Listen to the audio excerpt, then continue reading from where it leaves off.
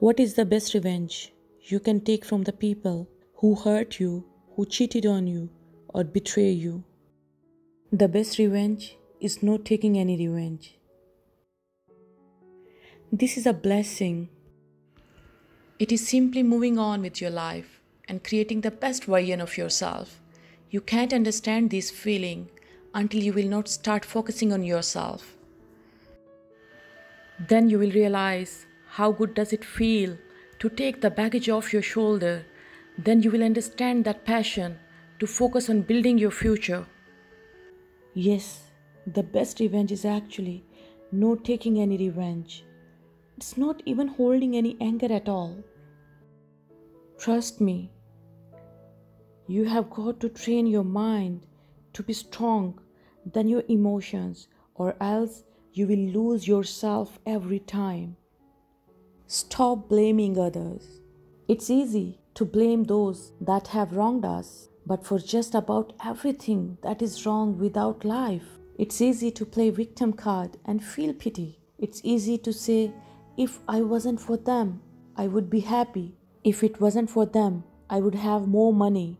If they didn't do this, I would be where I want to be. Most of them get so caught up in blaming, they continue to blame and sabotage. Most people held on the blame because it's easier than move on. Having an excuse or a story of why they are not where they want to be, it gets the sympathy and the use of it. They play victim card and gradually it gives them comfort it is much easier than taking any sort of responsibility and move on with your life. However, it is not and will never be a happy place to stay. Sooner or later, you have to decide to move on. Then why not sooner instead of later? Those who take responsibility for their actions, decisions, relationship, and life are wanting to move on and put the past behind them are much more likely to gain freedom, love, appreciation, success, and happiness. Now it's high time to take back your power. It is taking back the power they have from you, the power to hurt you, to betray you, to cheat on you, to insult you, to make you feel worthless. When you are the one who is suffering long after they are gone. Who wins of you? Keep blaming them.